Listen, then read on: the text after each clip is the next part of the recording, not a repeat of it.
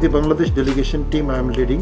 Um, with me we have got four member uh, technical team and operations team that uh, Bangladesh government has decided to send in Lebanon, especially after the incident has happened in 4th of August, the big explosion in the Beirut port, so where our ship was berthed very closely with the scene of incident.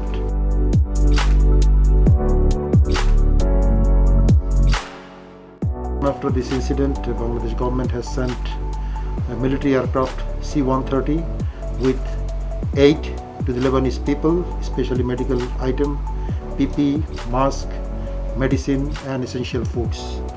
So it was handed over already to Lebanese armed forces in the airport. And then uh, we came to uh, see physically the state of the ship.